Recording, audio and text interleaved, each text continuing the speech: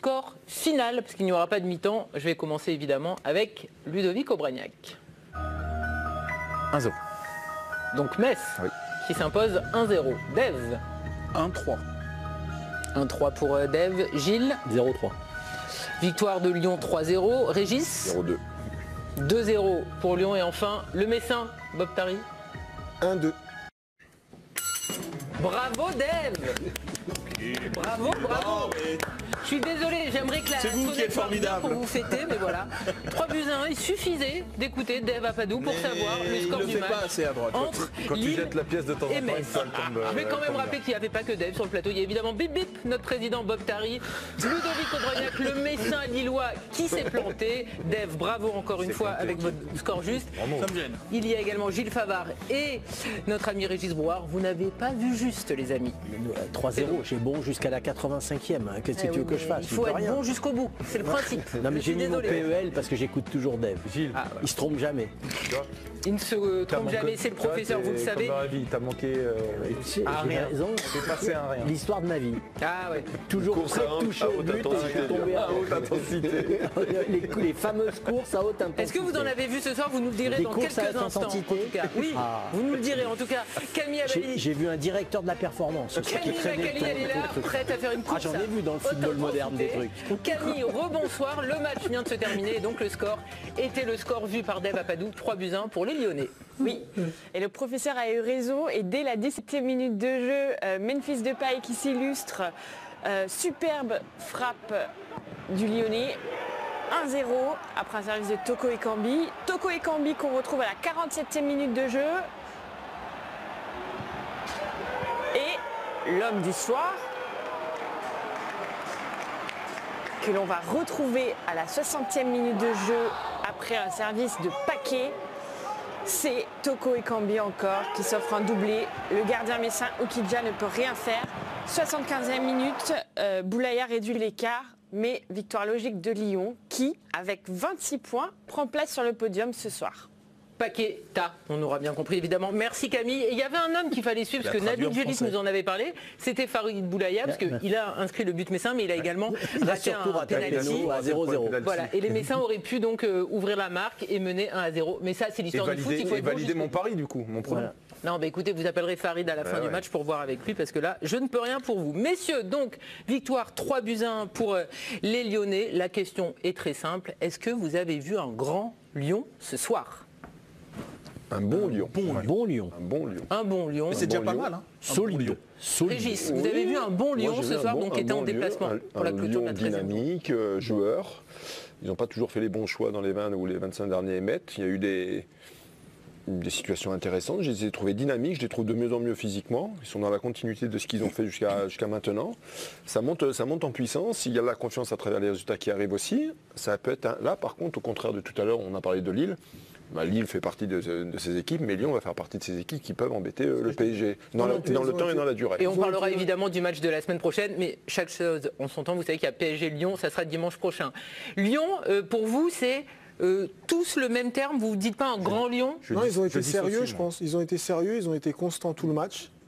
Euh, ils ont été surtout décisifs avec leurs joueurs euh, qui ont cette qualité euh, de, pouvoir changer euh, le cours du match, que ce soit dans une passe décisive ou euh, dans des éclairs de génie, comme a pu le faire par exemple Awar sur la passe décisive pour, pour, Toko Ekambi, ou la passe en retrait de Toko Ekambi sur la frappe de Depay qui, pour, euh, pour le coup, il faut la mettre, hein, la frappe, parce qu'elle va dans le petit filet, elle est très bien placée. Donc, euh, voilà, Pied, je pense reste au ont- sol. euh, Bien sûr, non, bien c'est sûr. bien. Mais tu sais tout ce que tu dis là. Moi, je trouve que compte tenu des commentaires qu'il y avait sur Lyon il y a ne serait-ce que quelques semaines, quand bien même ils gagnaient, mais c'est à la rage, c'est comme. euh, tu vois, Ils n'étaient pas dominateurs. le- Contre Saint-Etienne, voilà, contre par exemple, il y a Saint-Étienne, une voilà, victoire, on- mais c'est est pas une d'accord, victoire voilà, euh, et- et- et- impressionnante. Exactement, tu vois, même euh, Angers, enfin bon bref. Euh, et ben je trouve que de dire Lyon a été bon, il a été sérieux, il a été constant. Franchement, c'est plein de choses qu'on n'avait pas vu vraiment de l'OL depuis le, début de la saison et que là on commence à voir. Ça fait deux matchs de suite qui se rendent de la vie facile. C'est pas rien, ça veut dire qu'ils commencent à trouver un peu ce qu'on leur reproche parfois, c'est-à-dire une marge sur leurs adversaires dit euh, plus, plus modeste quoi. C'est-à-dire que Lyon dans les grands matchs, on sait qu'ils peuvent un peu se sublimer. On sait qu'ils avaient toujours un petit peu de difficulté dans ces matchs euh, Voilà, D'où la se- question du match piège en première partie. Ouais, exactement. En tout cas, du match que tu peux te rendre compliqué et que les saisons précédentes, parfois, ils, se sont, ils, se- ils ont, ils ont eu du mal à se, à se sortir de ce type de match. Là, tu sens qu'ils commencent à trouver une marge. Moi, je les trouve, euh, je les trouve bien. Et effectivement, il y a aussi la dynamique. C'est que tu sens que ça monte. C'est ça qui est très important, en fait. Et tu te dis, dans la perspective de ce qui les attend, là, le week-end prochain, puis des, des semaines, à, des semaines à venir, et ben, je trouve que ça, c'est intéressant. Gilles, on en a quatre victoires de suite pour les Lyonnais. Il y a Reims, il y a Angers, il y a Saint-Etienne. Et donc ce soir, il y a évidemment cette victoire euh, contre Metz. On raille parfois euh, Rudy Garcia parce qu'effectivement, euh, certains de ses choix et certains de ses résultats et de sa com font Ça débat. particulièrement. Mais il avait dit, après le mercato, vous pourrez juger mon Olympique lyonnais et on verra le visage que mon équipe proposera. C'est en train de lui euh, donner raison, en tout cas. Non mais le Régis a, a très bien résumé la chose. Ils sont, en, ils sont en progrès constant depuis un mois. Tout- tout- toutes les semaines, on sent qu'ils progressent, que leur jeu, leur jeu se dynamise et leur, euh, leur envie est, est- est- est présente. Maintenant, Garcia, on en parlait entre nous, on trouve qu'il qu'il fait des choix assez forts, mine de rien. Fait plus jouer les jeunes, fait jouer ce que lui considère être les meilleurs pour le moment, Dembélé sur le banc, fait jouer son trio d'attaque de Paille, Kadewere, euh, Toko et Kambi qui lui rend bien, son milieu qui est quand même, on a parlé, il y a la passe aussi de Paqueta sur le troisième but qui est merveilleuse, qui, il a un milieu qui est très actif, moi j'ai toujours dit, leur point, leur point faible c'est la défense. Mais il arrive à, à les faire jouer et c'est une équipe qui est attrayante à voir jouer, on s'emmerde pas, on voit jouer Lyon, on voit du jeu, ils jouent. Et ça, c'est quand même, il faut- et Dieu sait que j'ai suffisamment tapé sur Garcia, il faut quand même lui rendre... mettre à son euh, crédit. Voilà, il faut quand même lui mettre à son crédit. C'est-à-dire qu'il les fait jouer. Et on sent que tous les matchs sont joués. Donc justement, j'attends ce match de dimanche pour voir s'il va jouer dans la, s'il va rester sur le même système, s'il va pas se dire ah c'est Paris, je vais changer, je vais Dans inventer certains un matchs, il a Oui, parfois parce été que- bizarre. il hein. Parce qu'il y a des trucs, voilà, l'adversaire. qu'il les laisse jouer. Vas-y, il y a un match, et ben vous jouez. Vous avez l'habitude de jouer comme ça, ben allez-y, jouez. Ludo, Voilà. Gilles a parlé hein, du 11 de départ, on le revoit évidemment. Il y avait le milieu de terrain Guimarães, Paqueta et Aouar qui revenait après euh, sa petite euh, suspension euh, faite par le club, hein, on le rappelle. Et puis il y avait le trio habituel maintenant, hein, Toko, Depay et euh, Kadewere. Kadewere, on en parlera, c'est peut-être celui qu'on a moins vu sur euh, les trois de devant. Mais en tout cas, Karl Toko et Cambi doublé ce soir. Il est impliqué sur euh, les six derniers buts de Lyon. Ça commence euh, à faire. Là, il, il est en, pleine bourre. Bah, il est surtout régulier depuis euh, très peu de temps, mais on avait, il avait déjà montré euh, l'étendue de, de, de- de ses capacités durant le, le Final 8, où il avait été seul devant, il avait effectué un travail euh, titanesque. Il avait euh, en grande partie contribué au, au bon résultat des Lyonnais. Ce soir, j'aimerais quand même qu'on dissocie parce que, ok, je vois, j'ai vu une animation offensive chatoyante, mais j'ai vu une animation défensive inquiétante. Euh, hein, c'est un, match qui, où ça a été d'un but à l'autre. Euh, il faut aussi féliciter les Messins pour avoir pas fermé le jeu ni à 2-0 ni à 3-0. C'est ce qui a permis d'avoir un match attrayant ce soir. Mais euh, 11 tirs j'ai trouvé, j'ai trouvé, la charnière, grand- et notamment le retour de Denayer, j'ai trouvé la charnière en grande, grande difficulté. Heureusement que ce soir, c'est Opa Nguet qui euh, est certes un joueur euh, virevoltant, mais qui manque un peu de, de lucidité devant le but. Il y a un penalty manqué, mais je trouve que Metz s'est créé beaucoup de, de- de situations dans le camp, dans le camp lyonnais. Donc, certes, j'ai vu euh, un bon Lyon, mais je suis pas rassuré. problèmes par, qui sont, en euh, fait, euh, ouais, déjà je suis pas en fait. rassuré par la, par, la, par la charnière. Dev, effectivement, on, le rappelle, un Boulaya a eu un penalty. euh, Lopez l'a repoussé, donc Metz aurait pu euh, Il a ouvrir capté, la c'est marque. pire que ça. Ah, il a capté. il a capté, C'est oui, rare, parce que il, il est, mais il est pas. Ah bah il est super mal tiré, je veux dire un penalty. Un, t'as Et le ça droit manque de T'as le droit de le puissance. rater et le gardien a le droit de le détourner. Par contre qu'un gardien capte le ballon, je trouve que c'est... C'est- c'est La la, prochaine, la prochaine fois il fait un contrôle. hein. Je, je pense qu'il a pensé à Nabil Djelit au moment de. Ouais, C'est pour ça qu'il a envoyé une frappe de libellule. En pensant, en pensant à, à Nabil. il a pensé à Nabil, il a envoyé une frappe de C'est libellule. important ce qu'a dit euh, Ludo, parce que c'est vrai que par exemple, contre Saint-Etienne, on les avait vus se faire bouger, même euh, ils avaient encaissé euh, un but. Là ce soir, Metz a euh, gêné ses Lyonnais. Défensivement, ça fait des années qu'on le dit, mais c'est toujours pas rassurant. Et on se projette forcément sur ce qui va se passer dimanche soir Bien avec c'est pour- c'est le pour match ça, au à parc. votre, à votre question, c'est pour ça qu'on était tous unanimes, on n'a pas parler d'un grand Lyon, parce qu'on n'a pas vu non plus une, une machine imprenable. On voit une équipe qui monte en puissance, dont l'animation, le contrôle euh, technique, qui n'était pas toujours évident euh, il, y a, euh, y quelques semaines, commence à s'affirmer. C'est vrai qu'il y y a, des espaces, il y a, y a des défenseurs individuellement où tu te dis, bon, heureusement effectivement que c'était que, que, que les Messins en face, parce que ça, pourrait être, ça aurait pu chiffrer plus. Mais malgré tout, est-ce qu'il n'y a pas une forme de, de- de- de choix là-dedans? C'est-à-dire que je, je trouve que ce qui gagne en, en- en maîtrise et en, et comment dire, en création d'occasion, quoi, en, en animation, anim- et ben peut-être que ça crée certains déséquilibres. Si- peut-être qu'ils acceptent de payer ce prix-là. Il y, a des, il y a des confirmations, il y a des joueurs qui, qui- qui montent en puissance comme euh, Toko Ekambi ou Paqueta. Mais les axes de progression, ils sont avec les latéraux qui apportent rien au Eh niveau ben, offensif. C'est la grande faiblesse. Il faudrait, voir ce match hein. aujourd'hui, les centres que les latéraux ont, ont effectués, c'est pauvre. Euh, et pour une équipe comme Lyon, c'est pas normal. Aujourd'hui, bien entendu que la charnière centrale est, est mise à défaut parce qu'on peut leur reprocher de ne pas être euh, assez vif, assez, assez rapide. Mais les latéraux comme Maxwell Cornet, aujourd'hui, au niveau qu'il est aujourd'hui et ce qu'il a fait pendant le Final 8, il doit être capable d'apporter plus offensivement à cette équipe ou encore euh, Deschiglio qui, qui vient de la Juve et était capable aussi d'apporter sur des centres. je pense que c'est voulu. ça. Je pense que c'est voulu, mais il y a tellement de qualité technique au milieu, il y a Qui tellement de création. une prudence.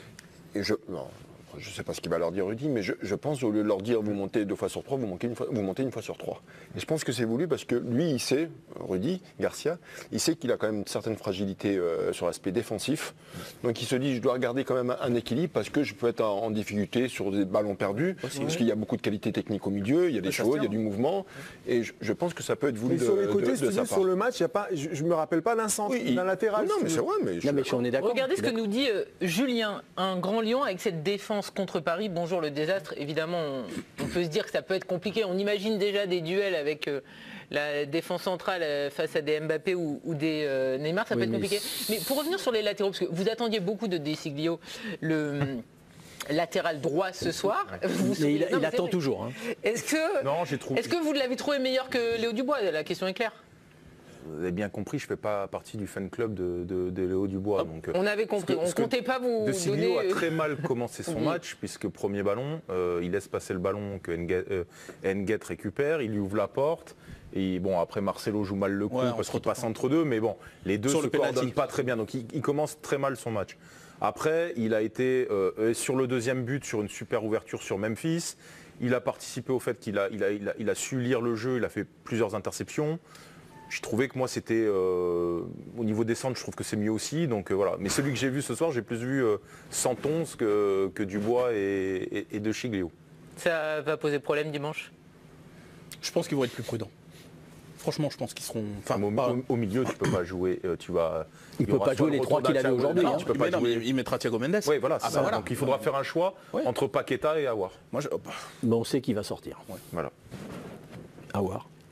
Aouar, pour vous, est-ce qu'il a été au rendez-vous? Il revenait après euh, voilà, la, la bisbille qu'il y a eu entre lui, Non, mais ça, entre. Juninho, entre... mais il a, il a- il a- il très a été grave. bon. Il a- Garcia, il a- non, mais il a quand- fait- ce qu'on lui demandait Non, de faire, c'est toujours quand c'est quand c'est Avec le ballon. Quand c'est facile pour Oui, Lyon comme ça, quand ça rigole, quand il faut donner la, la passe qu'il fait, elle est merveilleuse. ouais. Cet externe retourné là qui, qui- qui met sur, sur un pas, c'est fantastique. Mais par contre, dans les, Lyon se fait aussi transpercer parfois parce qu'il est, il est, il est pas dans son rôle. Et Paqueta, il a un volume de jeu. Non seulement techniquement, il apporte un vrai plus sur le plan offensif, Mmh. mais sur le plan défensif.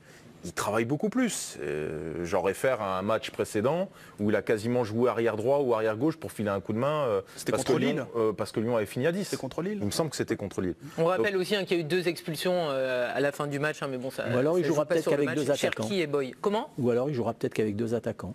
Il jouera peut-être qu'avec Toko et, et Depay devant et il laissera Awar derrière et il mettra Thi- euh, Thiago Mendes en plus. Mais L'année de dernière, Kadewere, fait du job quand même. hein.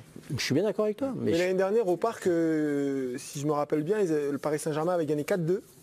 Et ça avait été un match euh, la seconde période de Lyon hyper top. intense. Et Lyon, ils avaient une balle d'égalisée à 3-3. Ouais, 3-3, ouais. Il avait fait rentrer Toko et Kambi Toké Combi, elle avait mis à un la mi-temps. et Il avait mis le feu en deuxième mi-temps et Dembélé loupe une occasion à- à- pour égaliser à 3-3. Donc euh, est-ce que Lyon va être capable d'hausser d'hisser et de hausser son niveau pour être Ah, ça va être à égal avec un Paris Saint-Germain qui peut être capable aussi par des fulgurances à un moment donné de, de dominer les débats, ça va être intéressant. Justement, Bob nous fait une passe décisive. Est-ce que pour vous, Lyon peut rivaliser avec le PSG dimanche prochain? Lyon là, est est deuxième ex aequo, hein, on le rappelle grâce à sa victoire. Ils ont le même nombre de points que les Lillois. Juste devant, il y a euh, le PSG qui est en tête de ce championnat. Moi, je pense que oui. Vous, vous avez souvent parlé effectivement des Lyonnais qui étaient au rendez-vous euh, lorsque l'adversaire était UP1. Ils ont souvent été bons dans les, euh, dans les gros matchs. L'inverse, pas toujours vrai. C'est-à-dire que dans les matchs, je mets des guillemets ordinaires, euh, c'est souvent ce qui leur a coûté des, points. C'est souvent dans ces matchs-là qu'ils qu'ils perdent. Maintenant, en fait, on parle de quel PSG Il est difficile à lire ce, PSG parce que même le PSG là, qui a gagné ce, ce week-end, c'était un PSG où il y avait eu huit changements. On en même- parlera effectivement Voilà. de tous les changements que et, et- Thomas et avait celui des, euh, des matchs précédents avait été vachement inquiétant, même dans les victoires. Il Donc de quel, de quel PSG on, on- on parle? Moi j'ai l'impression Dimanche soir, c'est le choc PSG Non, Lyon. non, mais en Ligue des Mardi. Champions. En Ligue des Champions mardi, euh, donc face à Istanbul, pour la Oui, qualification. jours, ils, devraient, ils devraient valider a priori Oui, leur, euh, leur, leur qualification. On sait qu'un nul Oui, suffit.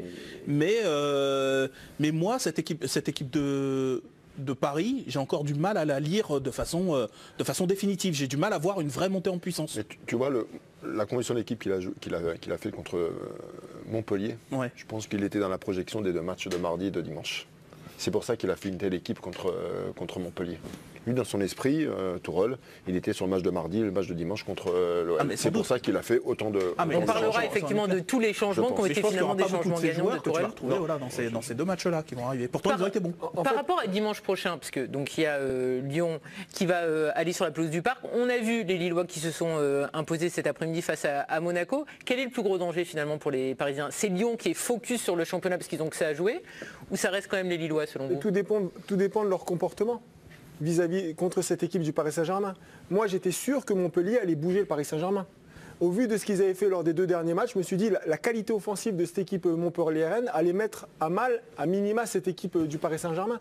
En fait, je me suis rendu compte que Montpellier, ils sont liquéfiés en deuxième mi-temps. Ils ont fait des erreurs qu'ils n'ont pas l'habitude de faire. le but sur euh, Et un- le but sur 3 contre Moiskin, 2. c'est une passe en retrait Non, qui n'a pas lieu d'être. Ils perdent un ballon à 3 contre 2 en contre-attaque, ils perdent le ballon et ils, encha- ils, voilà. ils prennent, sur le, ils prennent sur le contre.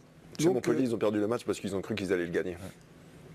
Bah, C'est là, qu'- c'est là qu'ils l'ont perdu. On rappelle qu'il y a un but partout et qu'en fin de match, il y a finalement le but de Ils Keane ont, et ils ont pensé, la deuxième mi-temps, ce que tu es en train d'expliquer, ils ont pensé qu'ils allaient le gagner et ils ont oublié Ils ont leurs déjoué fondamentaux, ils ont déjoué. ils ont- et- l'absence l'absence de Delors est, est Oui. terrible pour eux parce que dans la connexion avec la board, on l'a beaucoup moins vu. Et dans, et, dans, et, dans et dans- et dans l'âme en fait de ce qu'est Il y Montpellier. avait l'absence de Delors aussi qui est quand même Ben, ça, évidemment un joueur que lui, très il représente, Montpellier. euh, la grinta, C'est ce truc d'aller chercher, d'impacter. De, Je trouve voilà, que, je trouve que Lyon a ces, Montpellier ces vertus-là. Moi, je trouve, offensivement, c'est quand même des. euh, Cartoko et Cambi, c'est un mec. Faut- faut- je ne sais pas si on en reparlera un peu plus tard. Bien sûr, on va même Mais- le noter. Voilà, mais très, très gros mental, on pourra, on pourra le, pourra le développer parce que ce qu'il a pris au Final 8 quand il a raté ses deux énormes occasions contre, contre, contre Neuer, derrière il y a eu beaucoup de choses euh, dites sur lui, que c'était un peu le symbole des limites lyonnaises, etc. Le début de saison de Lyon compliqué, euh, il était souvent dedans, il a aussi raté des trucs. Euh, franchement, en ce moment, il est. il C'est est- le il meilleur est très- buteur du club. Voilà, et il est. il est- 7 buts hein, il, il est très bon, il est dans, dans l'esprit. Mais en privé, par, par rapport à votre question, euh, est-ce que c'est plus Lyon que Lille, enfin, etc. En privé, Galtier, lui, pense que Lyon a une énorme carte à jouer cette saison. Il, il pense que c'est une équipe qui est armée, surarmée, et compte tenu du fait qu'elle a qu'un match par semaine, Il pense qu'elle est... comme- Mais Non, Galtier, il dit ça pour enlever la pression à son équipe. Non, il le dit pas, il le, dit pas publiquement. Il n'est pas dit Non, publiquement, non, il non, le dit en privé. Regarde, il t'a Non, mais enfumé. Parce que tu penses que Galtier pense que Lyon c'est une équipe de pipe. Tu crois Non, mais Ah non, non, Il du tout, du tout. Non, non, plus du que tout. Lille va- Non, va mais y je, pense sincèrement que Lyon par rapport à Lille, par exemple, c'est une équipe plus folle, si tu préfères. Ah oui? Lyon peut, peut renverser le Paris Saint-Germain sur un, sur un match fou. Mais je pense que, comme l'a dit Ludo, ils ont quand même ce manque derrière de, de- qui sont. T'as bien vu. On, Oui, ça on rejoint ce que dit euh, Julien là, hein, sur euh, Twitter. Euh, oui, mais moi je connais pas Julien et, Ben, Ludo Julien vous Bragnac. connaît, Gilles, et Julien il vous connaît dit, petite question pour Non, vous, c'est- pour vous, comment Lyon peut contenir Neymar et Mbappé avec cette défense? Euh, pourquoi Mbappé, ça fait combien de temps qu'il n'avait pas marqué avant qu'il ait marqué contre Montpellier Ça veut rien dire ça. Comment il peut les contenir? À ce moment, on joue pas, on rentre à la maison et puis on leur dit ouais, c'est 2, c'est 3-0 que vous voulez. Il y a un match, un match ça se joue. Et, et Lyon est, capable de- vraiment de les, de, de les Bah, pousser. Maintenant, été, hein. Paris est capable de leur en mettre 4. C'est, le problème n'est pas là. Le problème, c'est que cette équipe de Lyon est capable de les Vu- Vu bouger. le profil de tes attaquants et de, Vu et de surtout le- certains de ton milieu, tes milieux offensifs, tu peux endiguer le, le problème parisien plus haut. Plus haut, C'est-à-dire que tu peux à les fait. traiter à la source plutôt que de gérer. euh, Surtout que le point la- faible des la Parisiens, c'est la défense. hein, hein. C'est derrière, hein, sur les Ouais. côtés, tout ça, c'est quand même pas flambant, hein, le Paris Saint-Germain. hein. Donc eux ont la Ils ont- capacité de les gêner. Maintenant, attention, c'est ce qu'on disait, la défense lyonnaise, c'est pas la sécurité sociale. PSG Lyon, en tout cas, ça sera à vivre. Donc j'espère que j'ai répondu à Julien et je voudrais lui dire que moi je connais 50% des gens et les autres 50% me connaissent. Envoyez-nous un nouveau tweet pour nous dire si oui ou non la réponse de Gilles Favard vous convient. Voilà, Voilà. hein, je fais le service après-vente. Mais avec plaisir. Voilà, Créer les exactement. conditions du dialogue. N'est-ce pas Julien, Gilles, Vous lui donnerez votre Ah, numéro de téléphone et Non, puis, euh, peut-être pas non plus. Il y a Hugo qui nous dit Lyon peut rivaliser avec Paris en mettant plus de rigueur défensivement. Ah, en bah tout cas, avec une animation offensive comme ce soir, un beau duel en perspective. ben. Après, euh, Lyon a été capable de renverser la Juve et renverser City euh, sur, un, sur un match, euh, enfin City sur un match couperé. Donc ils sont capables, ils arrivent à tirer entre guillemets la quintessence de leur potentiel sur, sur un match. Je pense qu'ils Oui, peuvent mais là, le ils avaient vraiment le rôle du petit en Ouais, Ligue des Champions. mais- Il y avait un mais système là- qui était différent aussi. Oui, mais là, en fait, c'est ce que je disais. S'ils ne déjouent pas, s'ils y vont avec leurs armes, en, en jouant avec leur qualité, je pense qu'ils ils peuvent faire mal. Après, je disais qu'il y avait des confirmations dans cette équipe, comme Toko et Kambi, comme Paqueta, mais il y a, des- il y a quand même des joueurs. Euh, Dembélé, il, il- il y a un problème. Aujourd'hui, je crois qu'il va les regarder sur jouer le, sur, prochain. sur- sur le Il terrain. avait marqué on la sent- semaine dernière. on hein, Il sent, avait un peu voilà, débloqué. on sent quand même qu'il est un peu en, en manque de confiance et, et il n'y a, que le but qui va lui donner confiance parce que c'est un, attaquant. Après, su- sur cette équipe euh, de Lyon, ce qui, ce qui va être primordial, c'est l'impact du milieu de terrain qui va être en capacité, entre guillemets, d'endiguer euh, les attaques parisiennes parce qu'il faut un espèce de mur de Berlin devant cette défense lyonnaise parce qu'autrement ils vont prendre, ils vont prendre les vagues hein. et on va voir ce que Rudy Garcia va être capable de mettre devant cette défense. Je pense qu'un, je pense qu'un Thiago Mendes qui va être plus justement dans cette capacité à sortir, à agresser, Il sera sûr. Enfin je sais pas mais ça, ça Ah, peut être une idée. tu vois. Ah, Karim de Twitter nous dit contre le PSG, il faudrait. Oui, oui. On l'a- On l'avait vu, effectivement, il avait été trompé. Est-ce que c'est Ça envisa- Bourrak Yilmaz. est-ce que c'est envisageable de revoir le Lyon avec le même système que lors du Final 8, c'est-à-dire notamment avec euh, cette défense à, à 3 ou à 5 Vous le comprendriez s'il fait ça ou pas? Ou ça serait encore euh, Honn- Honnêtement, non. s'adapter à l'adversaire, se renier un petit peu, etc. Honnêtement, non. Moi, je pense qu'il était dans cette philosophie à un moment de s'adapter à l'adversaire. Et aujourd'hui, il a, trouvé, il a trouvé son truc, il a trouvé son organisation.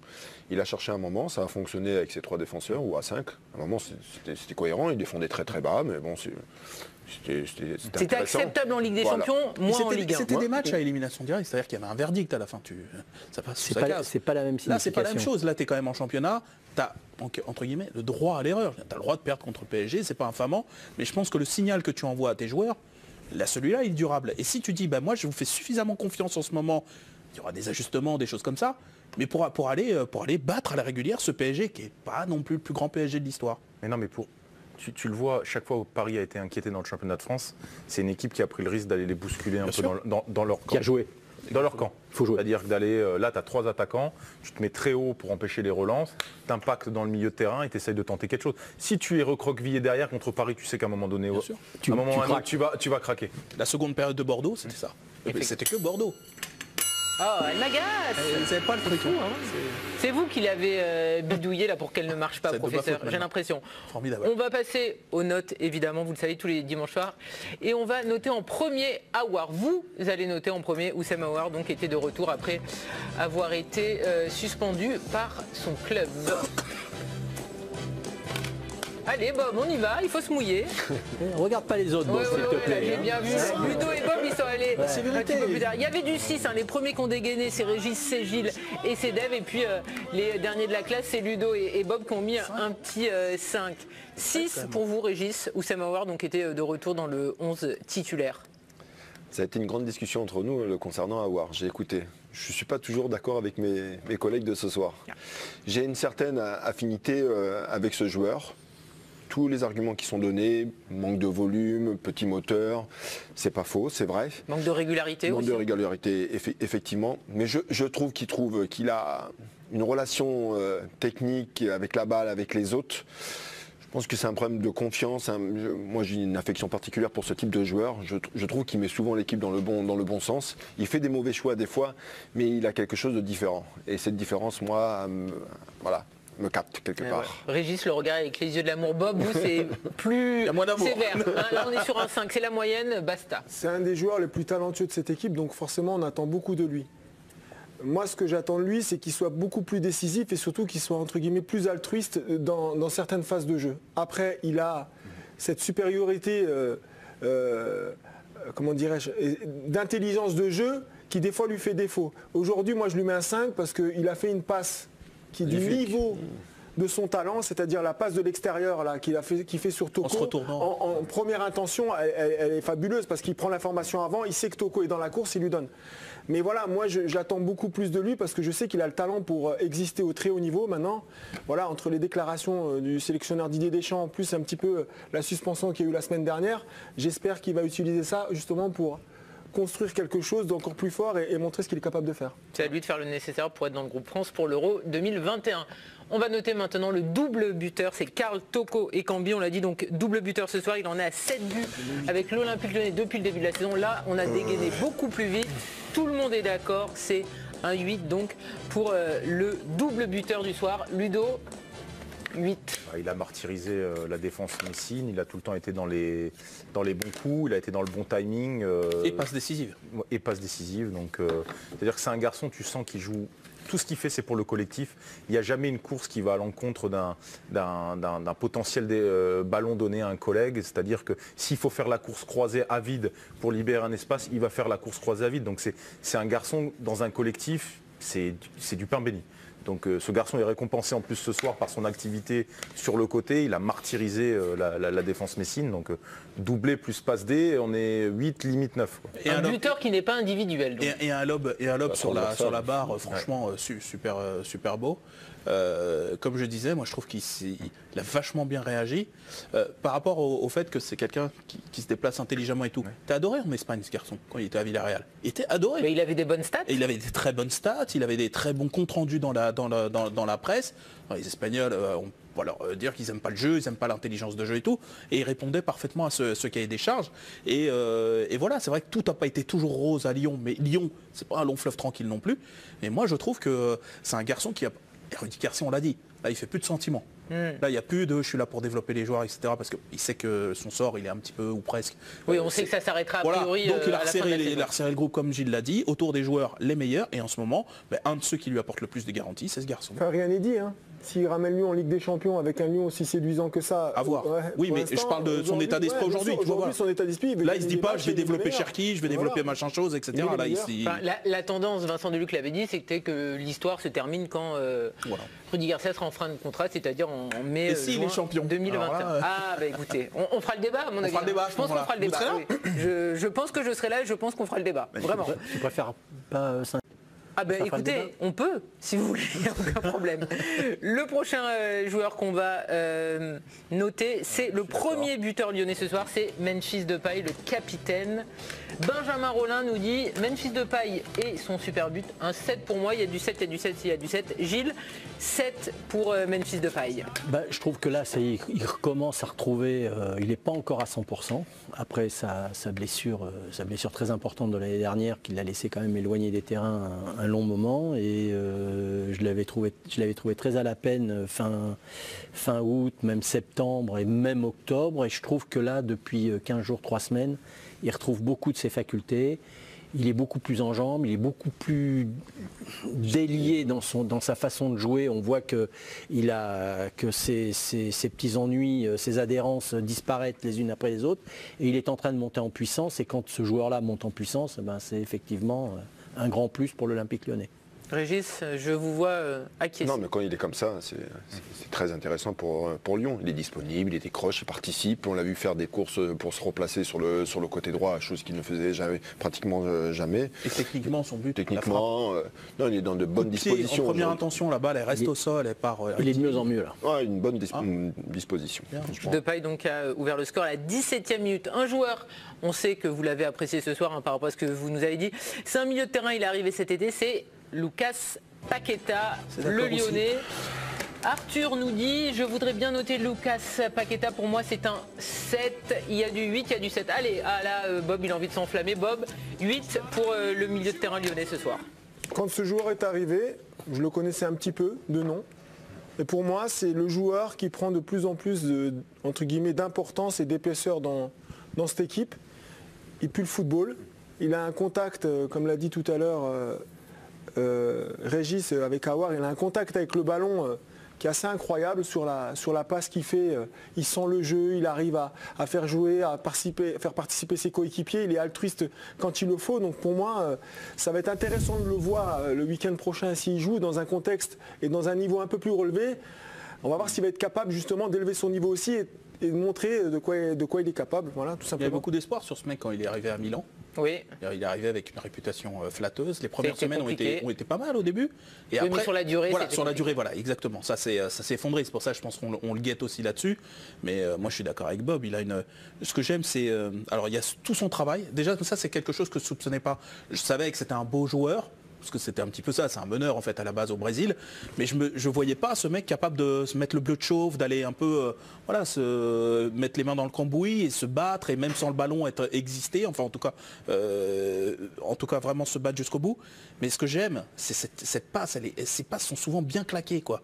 Et ça change tout. C'est-à-dire que ça donne du rythme à- aux, tra- aux transmissions. Je, enfin, je pense. Non, il a, il a un- je ne connaissais pas le joueur, hein, je, je trouve vraiment très intéressant. Je trouve qu'il a une, une faculté dans le, jeu, dans le jeu court. Il met toujours l'équipe dans le bon sens. Et la qualité de sa passe sur 10 mètres Ah, fait hein. que le- le- son partenaire qui touche le ballon, automatiquement, il est dans le sens, de- dans le sens du jeu. J'étais pas sceptique, mais je le trouvais un peu lent, euh, mais il n'est jamais lent, parce qu'il n'est pas lent avec le ballon. Donc tout ce qu'il fait, ça accélère le jeu, euh, le jeu collectif, et surtout ça donne, euh, ça donne euh, pour, pour les autres voilà, des, choses, des choses intéressantes. Je- ouais, bon joueur, devenu bon joueur. Belle soirée donc pour Lucas Paqueta, un homme qui est demandé évidemment sur les réseaux sociaux. Nabil Djelit, c'est un médium Nabil Djelit, il voit tout, il sent tout. Il nous avait dit c'était en avant-match, je sens un bon Boulaya. Boulaya quand même, on le rappelle, le Messin. Il a manqué un penalty en première période, mais il a marqué le seul but euh, des Messins euh, ce soir. Combien pour l'ancien Clermontois?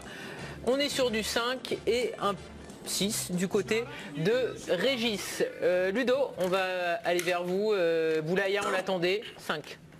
Il n'a pas été si décevant que ça. Euh, il a été à l'organisation du, du- du jeu messin.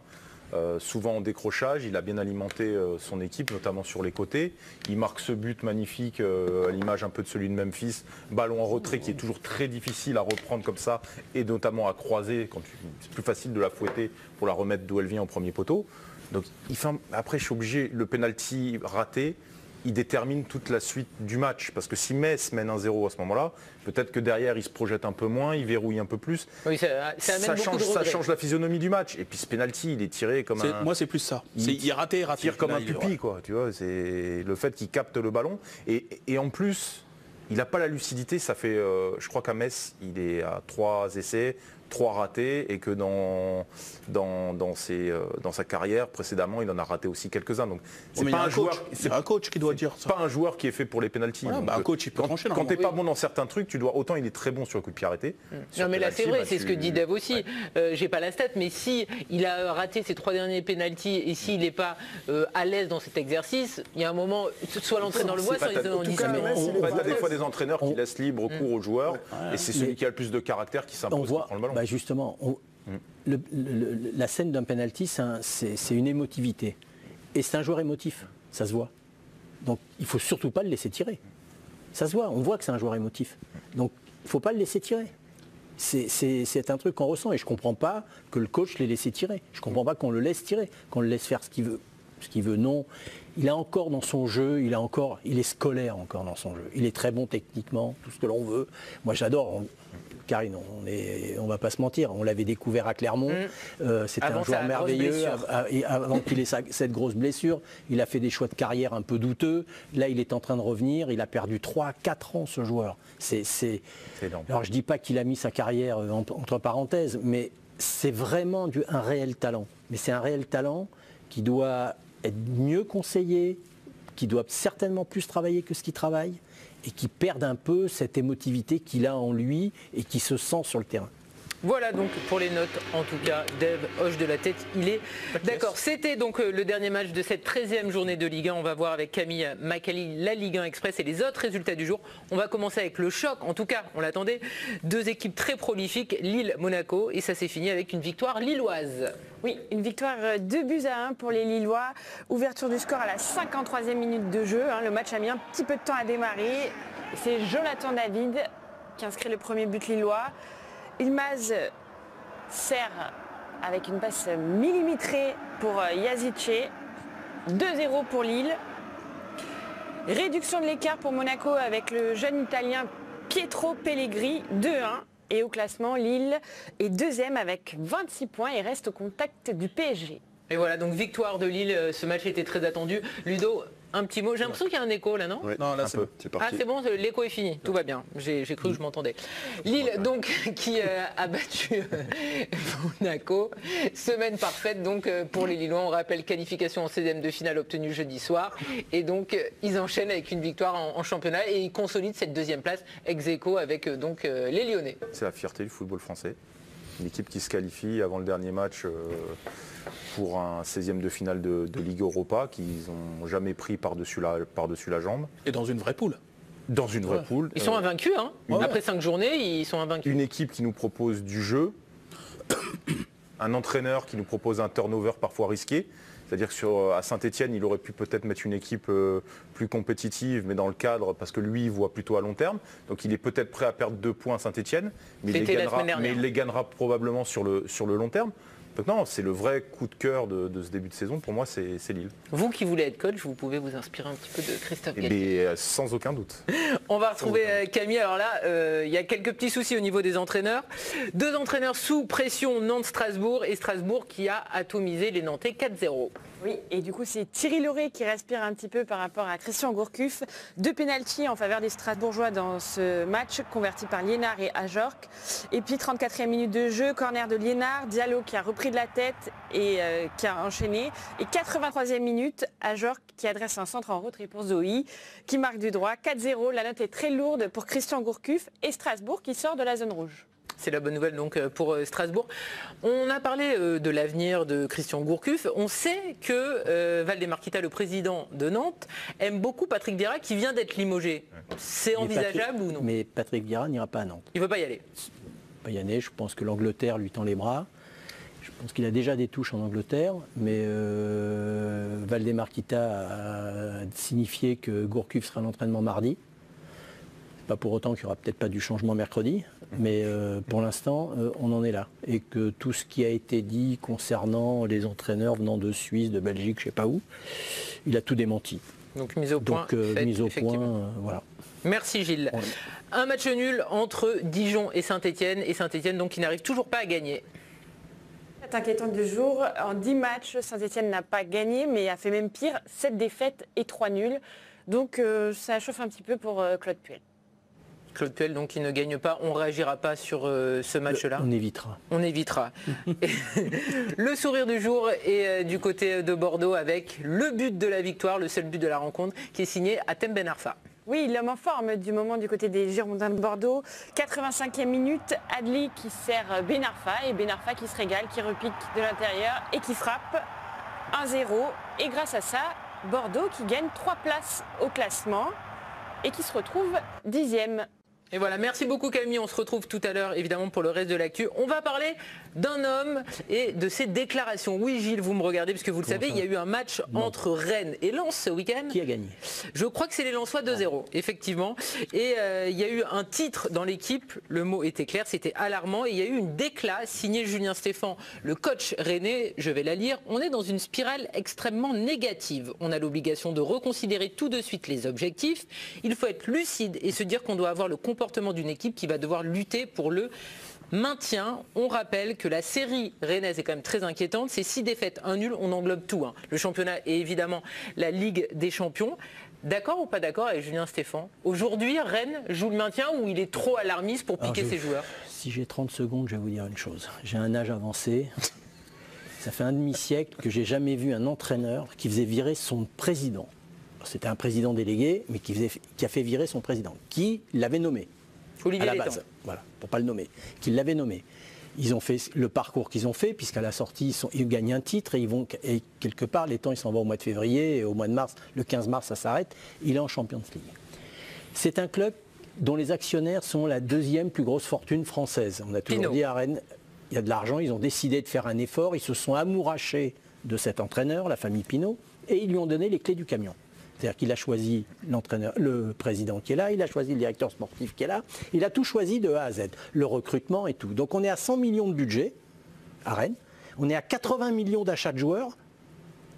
On ne gagne pas un match et on nous dit on joue le maintien.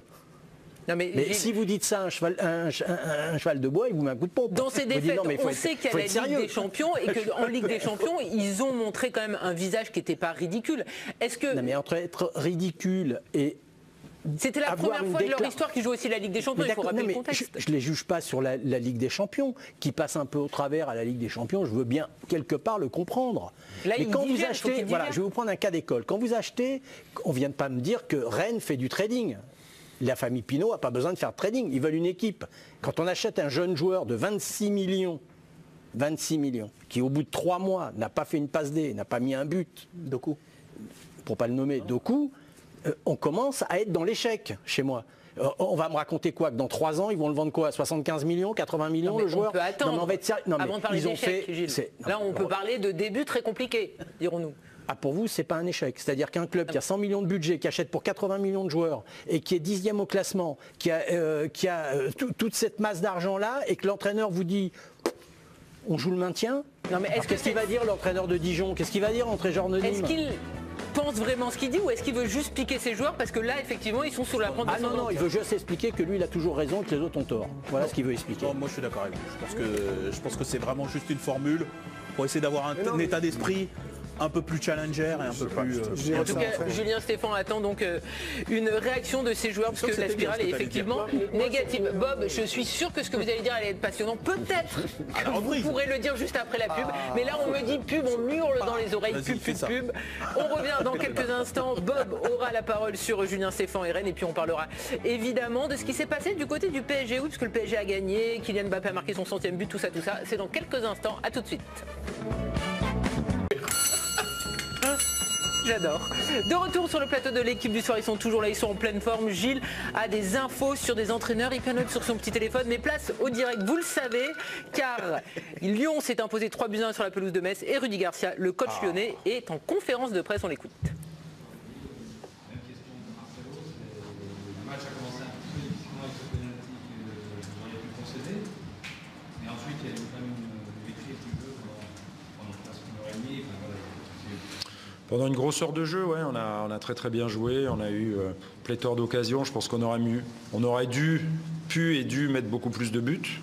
Mais comme vous l'avez souligné, j'oublie pas qu'à 0-0, euh, il y a eu un penalty euh, pour Metz que Kanto a arrêté.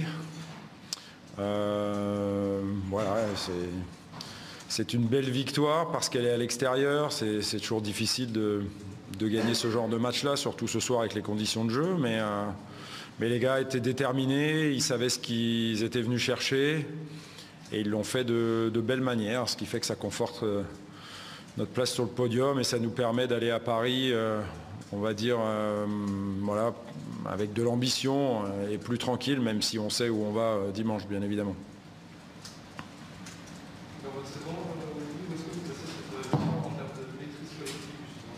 Ouais, je pense que c'est l'une des meilleures. On a, on a été capable euh, de développer du jeu et surtout d'avoir beaucoup, beaucoup, beaucoup d'occasions. Je pense que on a tiré plus de 20 fois au but à l'extérieur. Et puis on a eu beaucoup d'occasions, une bonne dizaine, je pense. Donc voilà, on a mis que 3 buts, mais on aurait pu en mettre plus. Mais encore une fois, on ne fera pas la fine bouche. Euh, L'essentiel, c'était d'être capable de faire cette prestation-là et de, gagner ici euh, vous parlez de maîtrise, Marcelo en a parlé aussi. Il y a eu une très grosse maîtrise du milieu de terrain et les trois milieux ont été décisifs sur les, sur les trois Mhm. Parce que ça aussi, ça vous fait plaisir. Et euh, comment on fait pour pouvoir composer euh, ce milieu avec six joueurs qui sont tous de niveau quasiment Ben, on fait, à l'heure de jeu, on en fait rentrer au moins un, puisque c'était Maxence Cacré. Euh, voilà, c'est très important de relancer Oussem.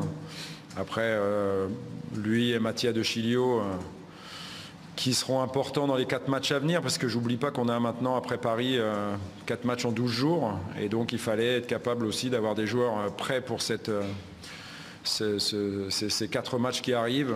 Euh, Thiago Mendes va revenir, c'est une bonne nouvelle aussi. Il vaut mieux avoir beaucoup plus de choix, surtout en ces périodes d'incertitude où on peut perdre euh, quelques joueurs, voire beaucoup de joueurs d'un coup. Donc voilà, plus on en a à disposition et, mieux on se porte. Non, Bruno était un peu fatigué. euh, Je pense qu'il a beaucoup couru, tout comme Lucas Paqueta. Ils ont beaucoup donné tous les deux, donc euh, c'était un peu logique qu'il soit, qu'il soit fatigué, qu'il demande à sortir. Rudy Garcia donc qui s'est exprimé après la victoire 3 buts 1 de Lyon. C'était une très très longue partie. Oui Dave, déjà il faut vous payer, vous coûtez très très cher. Nouvelle page de pub, mais vous inquiétez pas. Dans quelques instants, dans quelques instants, on parlera des 100 buts de Kylian Mbappé. On parlera de Thomas Tourelle, on parlera du salaire de Dave Apadou parce qu'il coûte très cher. Il faut vous payer. A tout de suite pour la dernière partie. Et Bob parle de l'équipe toujours du pas. soir. Bob? Oui, il dit- Non, toujours pas. Après, après. C'est la dernière partie de l'équipe du soir. La publicité a permis de payer Dave Apadou, donc c'est une bonne nouvelle. C'est la dernière partie. bon, ils sont là, ils sont en pleine forme, vous le voyez, Bip Bip le coyote, le spectre, l'expert, le dog, le professeur et Camille Macali. Camille, on va revoir avec vous surnom, la Camille. belle victoire de Lyon, victoire 3 buts 1 sur la pelouse de Metz. Oui, et dès la 17e minute de jeu, grâce à Memphis Depay, Lyon va ouvrir le score. Une superbe frappe du Lyonnais après un service de Karl Toko Ekambi. Et on va le retrouver à l'œuvre. C'est l'homme du match, Karl Toko Ekambi. 47e minute. Et à la 60e minute de jeu, Paqueta qui sert très bien, encore une fois, Karl Toko Ekambi, doublé. Le gardien messin Okidja ne peut rien faire. Réduction du score anecdotique pour, avec Boulaya. Et avec cette victoire, Lyon prend place sur le podium à 26 points.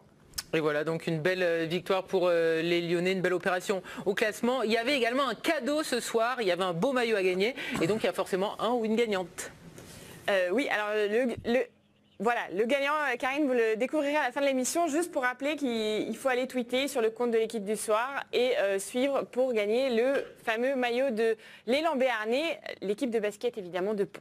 Ah, Pardon euh, Camille, je me suis emballé, on n'a pas encore le gagnant, donc continuez évidemment à tweeter, à RT et à faire le maximum pour gagner ce maillot. On vous retrouve dans quelques instants. Je vous l'avais dit, on allait parler de l'un des événements de ce week-end. Vous me direz si c'est un événement. En tout cas, il était à la une de l'équipe aujourd'hui. C'est Mbappé qui a marqué son centième but sous les couleurs du PSG. C'était donc face à Montpellier hier. 100 buts pour Kylian Mbappé. La question, elle est très simple. Avec 100 buts marqués, est-ce que Kylian Mbappé a déjà réussi au PSG Ludo. Non, pas tout à fait pour moi. Les autres garçons, au lieu d'attendre que Ludo réponde, Non, mais on pensait qu'il allait. Ah ben Alors, je pense que oui, j'enchaîne hein, vous pensez que oui. Plutôt oui Plutôt oui. Plutôt oui. Plutôt oui, mais euh, j'attends un peu mieux. Ludo, on va vous donner euh, effectivement la parole en premier. On rappelle que c'est 100 buts en 137 matchs pour euh, Kylian Mbappé. Vous restez sur votre pain. Non, même pas, mais je, je- je- je vais d'abord l'encenser parce que le titre pur sang, si on reste dans le, le contexte hippique, on va dire, on peut le comparer à Prince Noir. C'est un mec qui en avance sur... euh, sur... Les comparaisons. J'ai vu C'est la un mec tête qui en- de Dave et c'est un- pas passé. C'est un mec qui en avance sur son temps et, et- et- et sur sa génération. Euh, après, moi, j'aimerais. j'ai- J'ai même pas envie. J'ai même pas envie d'aller sur le sur le plan sportif. Euh, si ce n'est que je pourrais dire que ça fait un an qu'il n'a pas marqué quand même en, en- en Ligue des Champions, là où on l'attend le plus. Euh, J'irai plutôt sur le plan humain. Euh, réussir à Paris, je pense que euh, Kylian Mbappé, le jour où il quittera le Paris Saint-Germain, il voudrait être affiché au titre de légende. Pour moi, être affiché au titre de légende, c'est conquérir le cœur des gens. Et, je pense que- et, et le cœur de ses coéquipiers aussi, quelque part. Et je pense que dans ce- sur ce plan-là, il ne fait pas encore totalement l'unanimité par son manque d'altruisme par- parfois sur le terrain. Il en parle d'ailleurs dans l'interview qu'il a fait après le match, où il dit qu'il est très content d'avoir atteint ce mais qu'il a un cap à passer en termes de, de passes décisives et de, son rapport, et de son rapport aux autres. Je pense à des Ginola, je pense à des Wea, je pense à des, hum, Rail. à des rails. Voilà, eux sont Cavani, partis, eux ont quitté le, le- le- le club euh, sur un piédestal. Pour l'instant, ce qu'il fait, c'est phénoménal, mais c'est pas toujours les meilleurs buteurs qui restent dans le, dans, dans le cœur des gens. Donc, il y a encore ce- ce- cette bascule. Je trouve même il était rayonnant, ouvert à Monaco. Et il s'est fermé. Je trouve que, je sais pas, même avec la presse, avec les gens, c'est on plus voit compliqué. euh, là les meilleurs buteurs. Mais moi j'aimerais Ouais. revenir aussi sur les chiffres parce qu'effectivement il y a un chiffre qui est implacable, 100 buts en 137 euh, matchs. Mais il y a aussi les buts importants. Et euh, dans le journal L'équipe c'était très bien détaillé aujourd'hui. C'est zéro but marqué lors des cinq finales disputées avec le PSG hors trophée des champions. Et c'est surtout, et ça c'est important, les matchs en Ligue des Champions et les buts marqués en Ligue des Champions, c'est un seul hors phase de groupe. C'était contre Manchester lors de la victoire de 2-0 en février 2019. Est-ce que ça, pour l'instant, c'est une tâche? On sait qu'Kylian Mbappé est venu au PSG pour tout gagner, pour changer de dimension. Est-ce qu'il doit encore travailler sur cet aspect-là? Parce que Effectivement, évidemment, il empile les buts, mais lors des gros matchs, pour l'instant, il n'a pas répondu à ses présents. Bah, de toute façon, la stade donne la réponse. Euh, effectivement, les gros matchs, euh, il n'a pas été décisif. Il a eu les situations, il a eu les occasions pour marquer des buts, euh, des buts importants. Après, on oublie un peu quand même, on fait des comparaisons avec les autres buteurs de ce, de ce club, Cavani, Ibra. euh, il est encore jeune. Il a 21 ans. Il, a Il va avoir 22 bientôt. 21 ans, ça fait 3-4 ans, 3-4 ans qu'il Il est arrivé en août Était- 2017. Voilà, Il entame sa quatrième saison. Voilà, exactement. Je pense qu'il faut remettre un peu les choses. euh, on attend tellement de choses de, de sa part. Après, il y a des stats aussi qui sont, très, qui sont particulières. Il a marqué 97 buts dans la, dans la surface. Bob, il me faisait la remarque, il m'a posé la question combien de buts de la tête il avait marqué? Il a marqué deux buts de la. de- C'est un axe de progression de façon son de la tête. Donc il a des situations de jeu où il doit s'améliorer. Et c'est sûrement peut-être la raison pour laquelle il n'a peut-être pas marqué des buts aussi importants dans les grandes compétitions ou dans des matchs décisifs. Parce que c'est là où son axe de progression doit se, se trouver. Il est efficace dans une situation dans la surface, mais en dehors, euh, voilà. Donc, Encore euh, Les garçons, vous serez quand même dire- d'accord qu'il y, a- il y a des matchs qui nous restent quand même en mémoire Parce que si on juge de façon difficile et de façon dure Kylian Mbappé, c'est parce que lui-même dit il ne faut pas parler de mon âge, je veux être le meilleur, je veux tout gagner. Enfin, il a des attentes qui sont très élevées, donc nous aussi on a des attentes qui sont très élevées. Et finalement, ces stats en Ligue des Champions hors phase de groupe, elles sont euh, quelconques, entre guillemets, c'est un but en, 9 matchs, et puis il y a les finales de coupe aussi, etc. Donc pour l'instant, on reste un petit peu sur notre fin par rapport euh, à ça. Il doit porter le PSG plus haut, non? Non, mais qui porte le PSG plus haut, c'est une évidence, puisqu'on veut qu'il gagne la, la- la Ligue des Champions. Mais juste pour ouvrir une parenthèse, pour la refermer, c'est quand même quelqu'un qui, dans les très grands moments, est capable de marquer. Il a marqué en finale de Coupe du Monde. C'est pas donné à tout le monde de marquer en finale Oui, de Coupe mais du là Monde. on parlait avec le Non, PSG. non, mais pour, pour remettre après, parce qu'après, la petite musique, euh, oui, dans les gros matchs du Paris Saint-Germain, il ne marque pas. On ne peut pas dire que c'est quelqu'un dans les grands matchs internationaux qui est capable de marquer. Donc s'il n'a pas marqué, c'est certainement euh, la cause à une dimension de match. Moi, je trouve qu'il gère mal ces matchs. C'est un, il démarre toujours très fort. Il y a, dans les temps faibles, il est vraiment pas bon. Il a, il a quand même son jeu dans le temps faible et pas bon. Donc il a une, grosse courbe de progression, mais comme l'a dit Régis, il a 21 ans, il a 22 ans. Finalement, c'est rassurant euh, en fait. C'est plutôt. Moi, je trouve ça rassurant. Je trouve que si. Moi, ce que j'aimerais, c'est qu'il ait un très bon entraîneur. Mais quand je dis un très bon entraîneur, c'est un peu un, entraîneur encore un peu formateur, éducateur.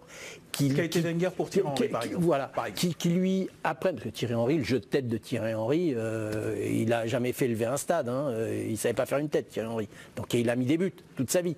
Donc s'il n'a pas un jeu de tête c'est un, c'est un truc qui est terrible. Et je vais reprendre une phrase que nous a dit Gilles Simon. Il a des, des énormes qualités, qui travaille ses qualités. C'est pas grave, son point faux, c'est le jeu de la tête. C'est pas grave. On va pas l'emmerder toute sa vie parce qu'il n'est pas bon de la tête. Ben, il fera euh, des têtes comme il fait des têtes. Mais qui continue dans ses points forts à progresser. Moi, et je là, que- ça, moi, je et là, ça je deviendra vraiment un joueur euh, d'une grande di- d'une dimension Je internationale. trouve que ce débat, finalement, il situe en fait même le niveau de Mbappé.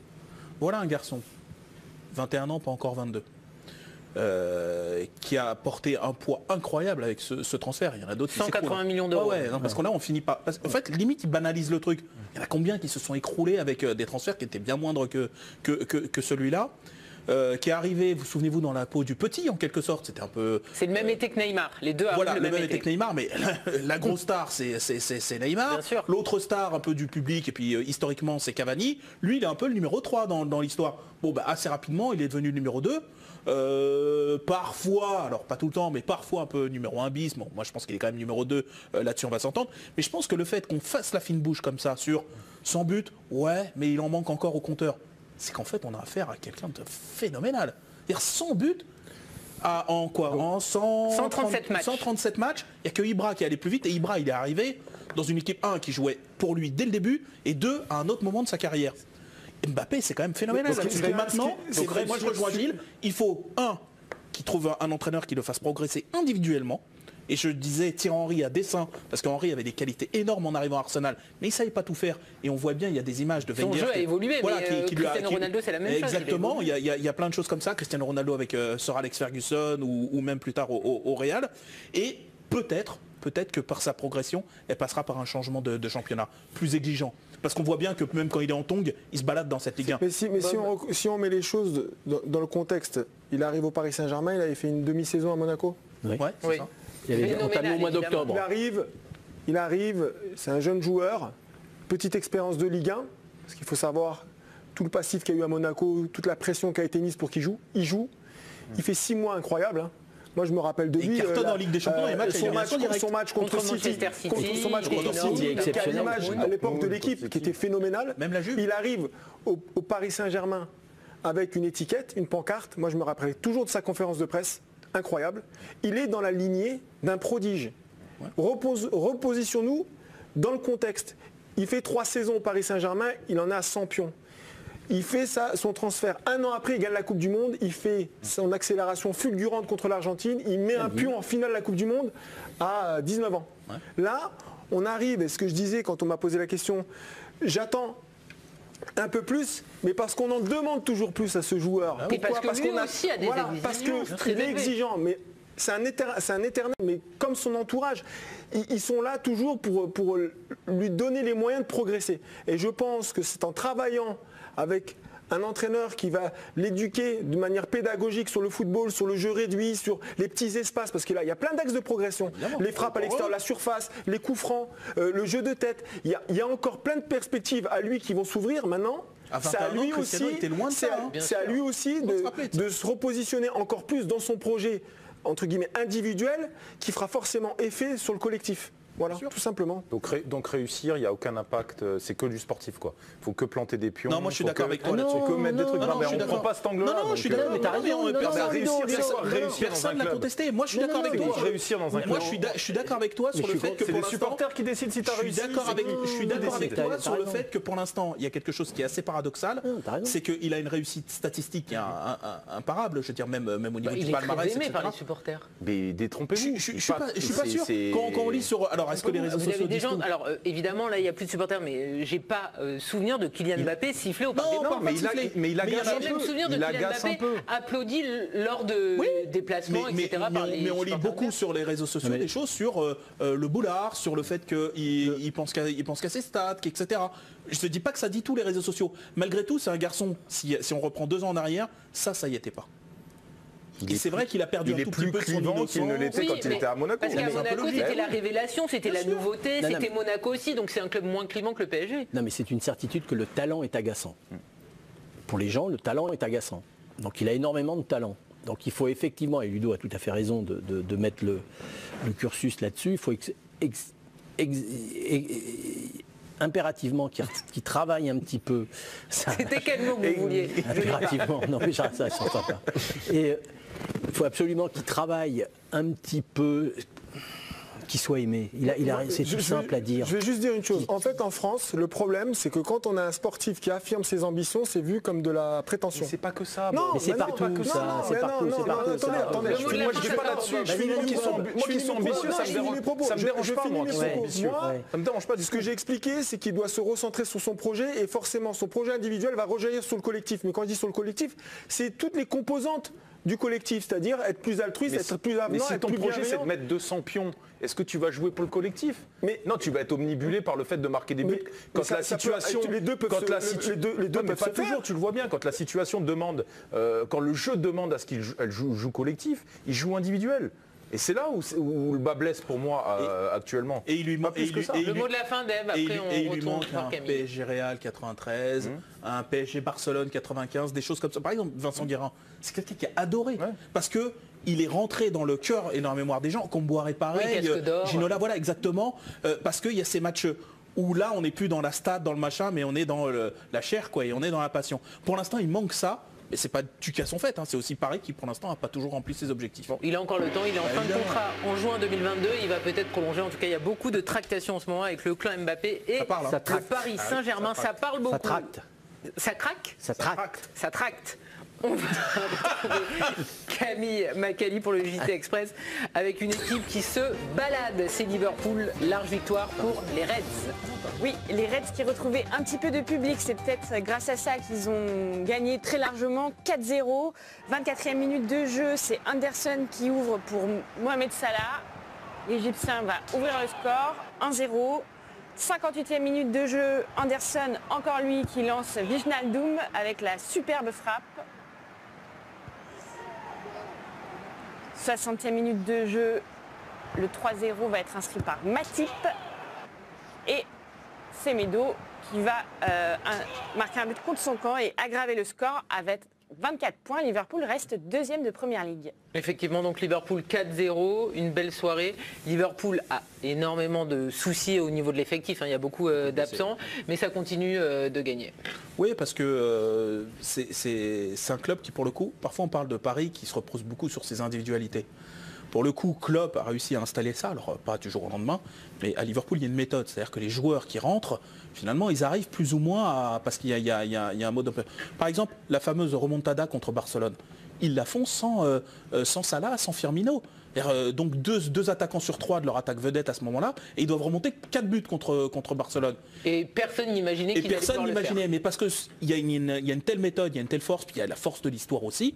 Voilà, il- c'est pas un club qui se cherche beaucoup d'excuses, pourtant euh, là franchement ils en ont, hein. c'est Van Dijk et compagnie hein, qui sont blessés, c'est pas des blessés mineurs, mais, euh, mais c'est vrai que pour l'instant ils sont premiers ex aequo avec, euh, avec Tottenham à la différence de but. Effectivement. Ils avancent. 24 points pour les deux équipes, vous m'avez fait une belle passe D. On va voir le leader, donc Tottenham, qui a encore gagné cet après-midi. De José. José. José. Tout à fait. Les Spurs de José ont gagné 2-0 face à Arsenal. Oui, et c'est Harry Kane et Son qui ont fait mal aux Gunners. 13e minute de jeu, relance de Kane pour Son. Il va réaliser une superbe frappe du droit de 25 mètres. Leno peut rien faire. 1-0. Et puis le match va être plié avant la mi-temps, puisque Son, à son tour, décale Harry Kane. Frappe surpuissante, un petit peu aidé de la transversale. Tottenham qui reste en tête de Première Ligue. Le mot de Ludo, parce que vous, vous avez été pertinent, mais c'était en off, alors dites-le en tête. On parlait de la place, on parlait de la, passe de Son pour Kane. la passe de Son pour Kane qui nous rappelait euh, une action euh, il n'y a pas si longtemps. Kylian Mbappé qui n'a pas fait la, place, euh, la passe à euh, Verratti. À Verratti. Verratti. C'est ce qui se murmure. Allez, nous allons partir en Serie A c'est ce que dit Ludo. le c'est qui tout. conforte sa place de leader. Il le dit. Est-ce que ça vous embête quand je parle? Dites-moi. hein, Vraiment, Pas vraiment, allez-y peux C'est sympa. C'est honteux. Donc, Serie A, le Milan AC qui conforte sa place de leader avec une victoire 2-1 sur la pelouse de la Samp. Camille, on va voir les buts. Oui, et pourtant en privé d'Ibrahimovic, hein, l'AC Milan euh, continue son invincibilité. 45e minute de jeu, penalty de Caissier. Et 77e minute de jeu, le Croate Rebic qui sert Castillero, qui transperce Audero. Score final 2-1 et le Milan reste en tête de Serie A. Et oui, le Milan qui tient effectivement. On va passer maintenant au rugby avec du top 14, la victoire du Stade français, mais surtout une victoire qui était dédiée à Christophe Dominici. Oui, un match placé sous l'émotion puisque c'était ces deux clubs, euh, le Stade français face à Toulon et euh, évidemment ils ont voulu faire les choses en grand, rendre hommage une dernière fois à leur ailier. Les tribunes qui ont été remplacées, avant c'était Paris, là c'était Domi. Et puis euh, ils ont également joué les Parisiens avec le maillot, le dernier maillot de Dominici. Un beau match des deux équipes, deux essais inscrits de chaque côté. Du côté du Stade français c'est Lester Etienne et euh, Latou qui inscrivent euh, des essais. Et euh, côté Toulon, c'est Paris C et Tolofoua qui répondent. Et puis Joris Second qui inscrit la pénalité de la gagne. Score final, Paris s'impose d'un point de justesse dans ce Dominico. Et un bel hommage donc à Christophe Dominici du rugby encore avec la Coupe d'automne des Nations. Les Bleus qui s'inclinent face aux Anglais au terme d'un match plein de suspense. Et oui, on avait mis l'équipe B, l'équipe bis du côté des Bleus face aux grands Anglais. On leur promettait euh, une fessée. Eh bien non, ils ont fait plus que résister et notamment grâce à Brice Dulin, l'arrière français en pleine forme, qui a inscrit le premier essai de la rencontre. Derrière, les Anglais vont arracher l'égalisation. On va aller aux prolongations, 19 partout, c'est très serré.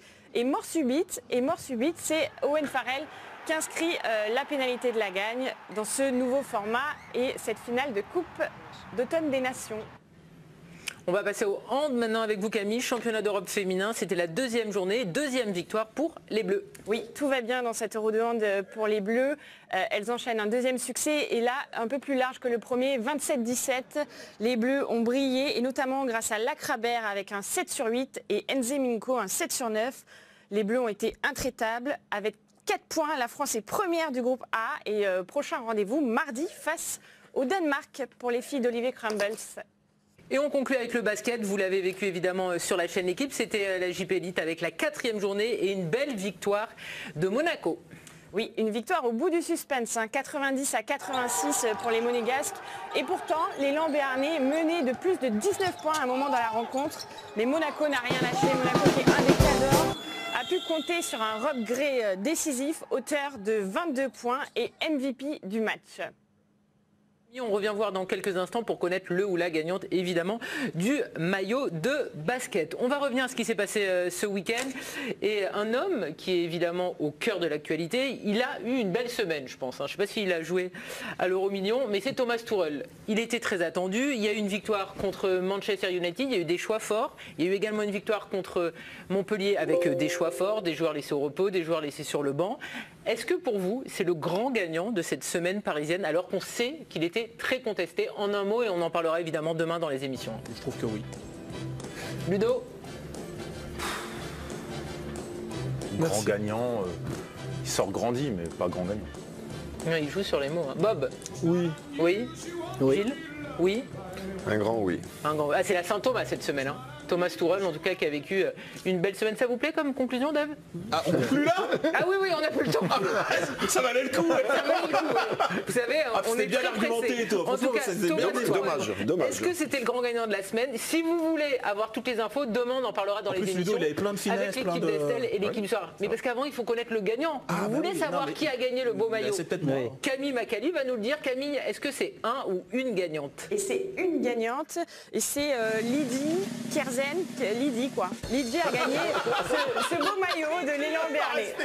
Lydie, vous êtes la gagnante de ce superbe maillot. Merci à tous. Demain, on parlera de Thomas Tourelle, j'en suis sûr. Dans l'équipe d'Estelle, T'inquiète, dans l'équipe du soir, c'est à voir. Belle soirée à tous, merci, Merci, à vous. Merci. Demain, vous avez rendez-vous dès 17h30 avec l'équipe d'Estelle et puis 19h45. Olivier Ménard et toute sa bande. Belle nuit à tous sur la chaîne L'équipe. Bye bye.